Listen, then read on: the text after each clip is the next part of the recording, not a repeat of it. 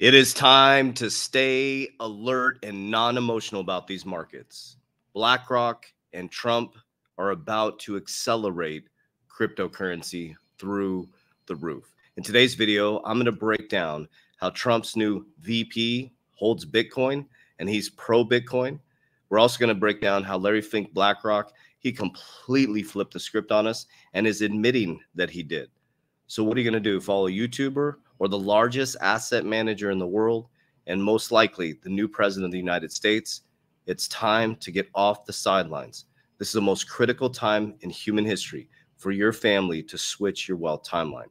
The system is about to flip. Let's jump into it today. All right, so we're going to dive into this day. I'm traveling, so my studio is a little different. So we'll do the best we can with audio and all that stuff. So I appreciate the understanding of that. So let's dive into this. First, we're going to watch this video from Larry Fink, the CEO of the largest asset manager in the world. Also, is on the board of trustees for the World Economic Forum to move their mission and purpose forward. Let's check this out. I know you have been a leader in willing to embrace crypto. You yeah. have made it so that people can be in Bitcoin. We hear that you are thinking about Ethereum. These are incredible things. How now BlackRock is not known as a uh, a gunslinger by any means. So you obviously must believe that this may be as an alternative. Is this an alternative uh, in order to be able because of the a deficit? Maybe something long term people should have. How ironic is this? The guy who fudded us in and fudded us out of crypto, Jim Cramer, is asking these questions. So what he just said is it is it due to the deficit? So pay attention. We we we in this channel know the micro and macroeconomics. Okay, we're not focused on the pump and dumps. We're not trying to get you rich in crypto. We're focused on the big long term. Okay, this is about deficit spending. This is about America being looked at unfavorably now. It's the war narrative. Wealthy money is putting their money into flight to safety. So we are on track. So listen to what he says. Absolutely. Um, as you know, I was a skeptic. yes. I, was, you know, I was a proud skeptic. and I studied it, learned about it, and I came away saying, okay, you know, my opinion five years ago was wrong. Here's my opinion today. This is what I believe in today. I believe the opportunity today.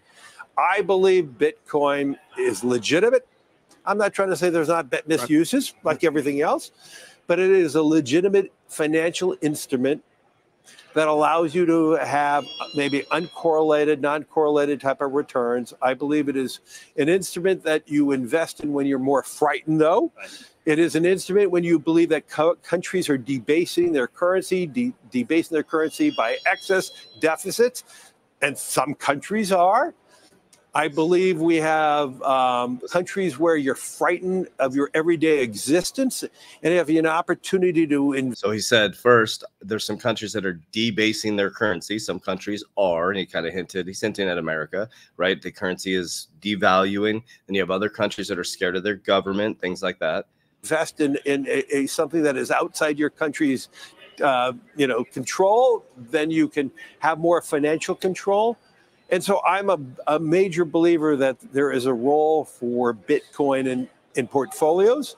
I believe you're going to see that as an as one of the asset classes that we all look at.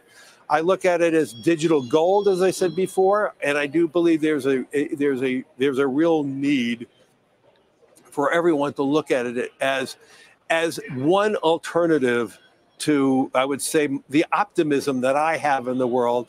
If you want to hedge hope, Bitcoin is not a, an instrument for hope unless you're hopeful you're going to make a lot of money on it. Mm. but it, I, I, look at it as a vehicle in which you're expressing your your financial acumen in something that you're more frightened of the world. You're more frightened of your existence, and I believe there's a great industrial use for it. And I, and I think a lot of people are missing that.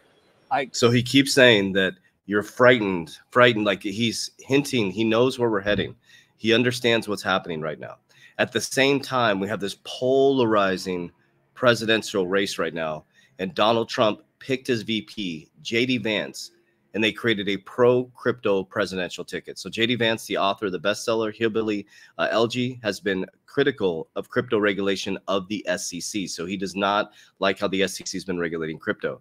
Vance, however, brings his own street cred with the presidential race. Since being elected, to Senate in 2022. He's introduced and voted in favor of pro crypto legislation, is a holder of a number of digital currencies including Bitcoin, and has been staunch critic of the SEC, Gary Gensler's regulatory crackdown on digital assets. Let's keep moving just a little bit. So Trump's VP picks JD Vance. He owns over 100,000 in Bitcoin. He also owns other cryptocurrencies. We also have Bitcoin Magazine report that just in, former Congresswoman Tulsi Gabbard says Bitcoin is about liberty. What do you think Larry Fink was just saying? And being able to transact how you want. The largest asset manager in the world, Congress, and now the presidential race is about cryptocurrency. Okay. Bitcoin jumps as market sees increased odds of election victory for pro crypto Trump.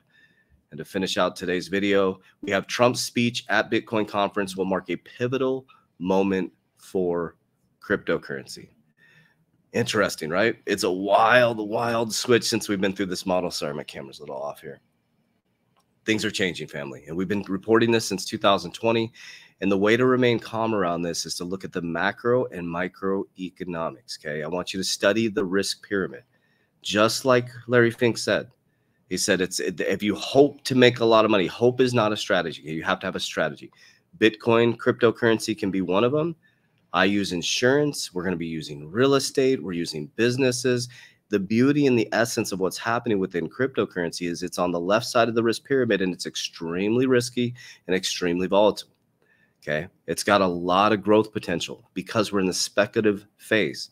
Okay. There's not full true utility yet. That's a beauty in it it's kind of like an Apple moment, a Google moment, an Amazon moment where people like, ah, we're not going to have things delivered to our house within three to four hours or 24 hours like that off the internet. But look at Amazon now, right? We're not going to be using these Apple iPhones and these computers and be able to be in a hotel traveling around the world doing all these things. No, that's not going to work out. We're going to interact human beings. We're not going to be on Zoom calls. Boom. One of the uh, greatest investments in the world, right? That's the moment we're in right now. So you have to develop financial literacy, discipline, learn debts and non-negotiables, create some income. Once you create income, you learn how to invest. Once you learn how to invest, you learn how to profit. Once you profit, you learn how to secure and you learn how to grow. So from the risk pyramid on the left side, when it's high risk, high return, which is crypto, I have an exit strategy on the way up. So on the back end of this year, if they lower rates in September, we'll see a pump in our, our assets. And as we go into the bull run, 2020 back into 2024, 2025, you're going to see a parabolic move based on historical patterns, right? And people should be pulling on the way up. I pull down and I secure my wealth. I insure my wealth. Okay. I'm also investing more in my companies. I'm going to be getting more detailed in my companies like information technology, attention, education. I'll be using Bitcoin as my gold. So this is very, very exciting time. So we'll continue to report this week uh, as we see new things come in. Again, you know, I'm so glad that Trump and his family is safe. Uh, my heart prayers again go out to that family that that uh, lost that firefighter.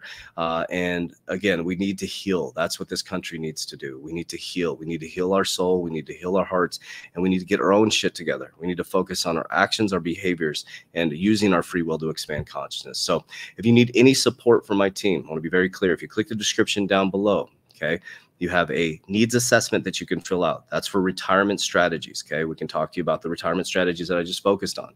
Okay. Also, if you're wanting to join me and coach with me live, uh, have a four week, okay, it's a four week um, live workshop. You're with me live on Zoom calls. Okay. And then after the four weeks, you're on a monthly call with me every single month, every month. As I meet with my team, I come back and report exactly what I'm doing. So if that's something where you want to demystify all this, you want to be in a community so you're not running all over the place, um, I can support you with that. So there's two things down there. Needs assessment is for retirement strategies, absolutely free consultation. And then the other one is a four week webinar series. That's my education academy. So um, appreciate you guys. And the education academy, when you click, you'll have to interview with a team member and to see if you're a good fit. So I love you guys. I appreciate you. As we always say, warriors, rise, get your shit together. Oh, and it's in the description of the video or on my social media platform. Click the link. Love you guys. See you soon.